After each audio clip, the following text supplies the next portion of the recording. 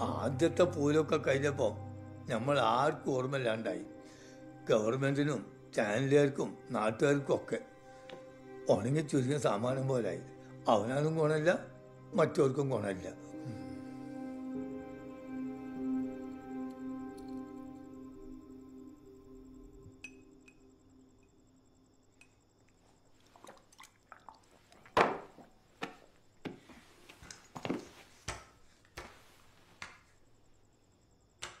ഇതിന്റെ കുഴലുകൾ തമ്മിലൊരു വളവുണ്ടല്ലോ. ആ രണ്ടുണ്ടെങ്കിൽ കൂടി നൂറ് നൂറ്റി ഇരുപത് മീറ്ററിൽ ഒരേ പോയിന്റിൽ തറക്കണമായില്ല മുമ്പെന്തായിരുന്നു ജോലി? വാപ്പ ജീപ്പ് ഡ്രൈവറായിരുന്നു ആ അങ്ങനെ പറഞ്ഞാൽ മുഴുവനാവില്ല.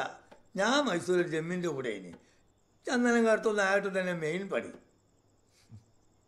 എന്തിന് കുറച്ച് അവങ്ങൾ വെച്ചിട്ടുണ്ട് കാട്ടിൽ ആ അതിനെന്താ സാറിനെ പിടിച്ച് ജയിലിടോ കിട്ടാൻ ഞാൻ രക്ഷപ്പെട്ട്. നേരത്തെ ചെന്നാലെങ്കിലും കിട്ടുമല്ലോ